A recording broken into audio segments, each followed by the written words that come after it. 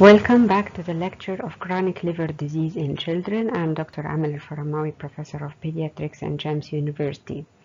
This is the last segment of the lecture in which I will explain ascites as a complication of liver cirrhosis and portal hypertension, and I will tell you how to approach a case of hepatomegaly and give you a hint about liver transplantation in children.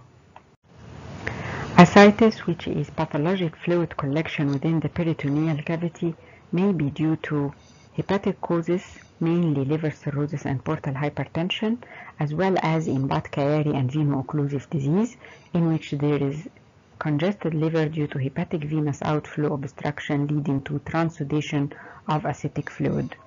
On the other hand, there are a lot of extra hepatic causes of ascites, as ascites may be a part of generalized anasarca in heart failure and nephrotic syndrome, may be due to peritonitis, whether infectious as in case of TB peritonitis or as a part of polyserositis in collagen disease. It could be due to lymphatic leak as in case of trauma, post-abdominal operations, or congenital anomalies of the lymph vessels. It may be biliary ascites in case of bile duct rupture or urine in the peritoneal cavity in case of uropathy. Hepatic ascites is caused by portal hypertension that leads to congestion and splanchnic vasodilatation leading to transudation of fluids due to increased hydrostatic pressure. Also, decreased albumin synthesis in liver cirrhosis leads to decreased oncotic pressure that results in transudation of fluids. The splanchnic vasodilatation leads to decreased renal blood flow that will lead to activation of renin-angiotensin system that results in high aldosterone level in addition to reduced aldosterone metabolism due to liver cirrhosis. This will lead to salt and water retention and accumulation of fluid in the peritoneal cavity. The diagnosis of ascites is based on clinical examination as well as ultrasound examination for evaluation of the amount of ascites and Doppler to evaluate the patency of hepatic veins, inferior vena cava and portal vein. Lab investigations for assessment of the liver profile including the albumin and investigations to exclude other causes of ascites. Ascitic fluid sample is indicated for calculation of SAG, which is serum albumin ascitic albumin gradient. If it is equal to or more than 1.1 gram per deciliter, this indicates that the patient has ascites due to portal hypertension. Ascitic fluid chemistry for evaluation of glucose, proteins, and cellular content, and for culture and sensitivity. The treatment of ascites is targeting the factors contributing in ascitic fluid accumulation. So bed rest, sodium restriction, and fluid restriction are indicated to minimize salt and water retention. Diuretic therapy using spironolactone, which is anti-aldosterone with or without furosemide, nutritional support and adequate protein intake in non-encephalopathic patients in order to compensate for the hypoalbuminemia.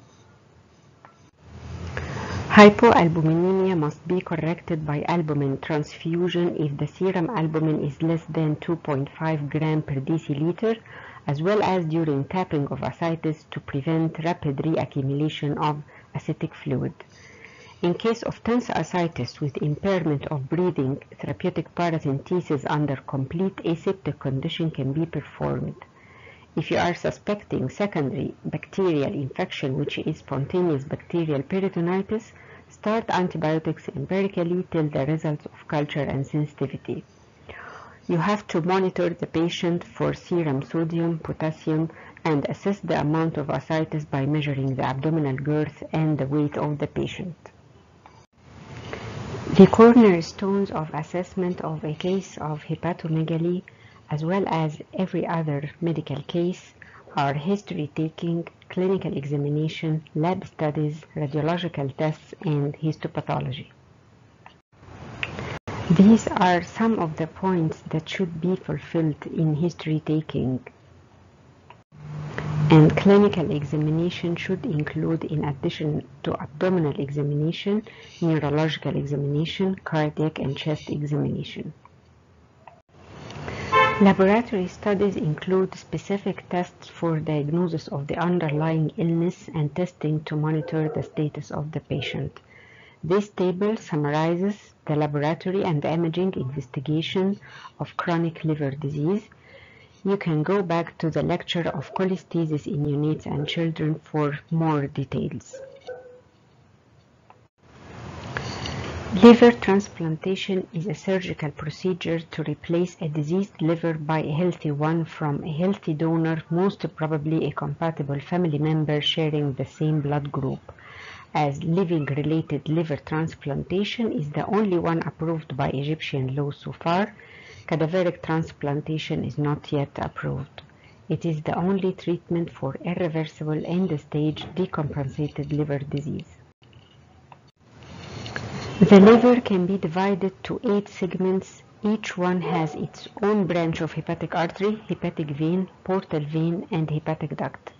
For infants, two segments from the left lobe are usually removed from the donor and transplanted into the recipient, while in older children and adults, four segments from the right lobe are required. This table shows the indications of liver transplantation in children and as you see biliary atresia is the most common indication of liver transplantation in children. Liver transplantation cannot be done in case of uncontrolled systemic infection causing sepsis, progressive terminal non-hepatic disease, irreversible neurologic disease, unresectable extrahepatic malignancy. Liver transplantation is a major operation that may be complicated by graft rejection, which is the most common complication, primary graft dysfunction, which is the most serious complication, as well as other vascular infection, biliary complications. Patients should receive long-term immune suppression, which increase the risk of infection. Well, this brings me to the end of this lecture. Thank you for listening. I'll be glad to answer your questions in the face-to-face -face session. So until this, be ready.